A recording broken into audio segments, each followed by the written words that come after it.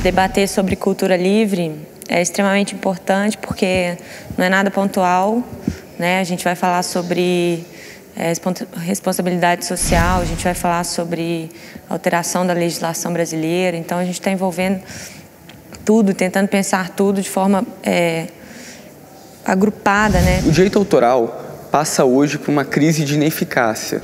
A sociedade não se identifica mais com o tratamento legal da matéria autoral e a lei é completamente insuficiente para atender as demandas mais legítimas da coletividade. É, ela é um embate, na verdade, é, com a ideia é, de que os conteúdos é, culturais têm dono, né? e os donos, em geral, são os intermediários, que intermediaram é, as relações entre os artistas e o público é, durante todo o século XX. Pelo tratamento que nós temos hoje, você não pode transportar uma música de um CD que você adquiriu legitimamente para o seu iPod.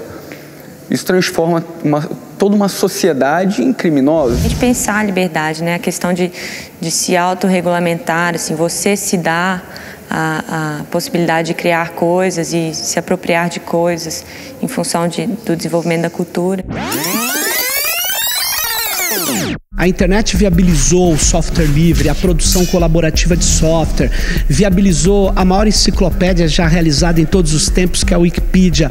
É, ela, ela é, garantiu, na verdade, que surgisse uma cultura, uma nova cultura, a cultura digital. O último é, evento que a gente viu que prova a, a grande, o grande potencial é, democratizante da internet é que você é, viu o governo americano, o governo mais poderoso do mundo, tentando fechar o site de um grupo pequeno, é, que é o Wikileaks por ter feito uma série de denúncias é, que são verdadeiras. Você não vai ver ninguém falar ah, as denúncias são mentirosas.